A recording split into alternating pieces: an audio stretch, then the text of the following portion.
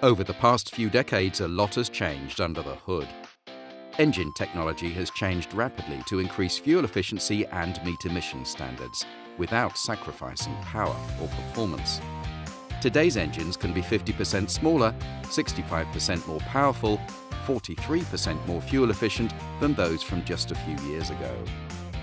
This has increased the use of gasoline direct injection technology, also known as GDI engines. GDI engines offer the perfect balance of better performance and fuel economy. Although these advancements have increased efficiency, they have also increased the chances for engine problems. Delivering greater horsepower in a smaller engine can lead to higher temperatures and pressures inside the engine. This can create the following challenges that work against your engine. Abnormal combustion, known as LSPI, the redesigned fuel injection systems can cause unpredictable ignition. Extreme heat. High operating temperatures can cause deposit buildups. Timing chain wear. GDI engine technology is vulnerable to stress on the timing chain.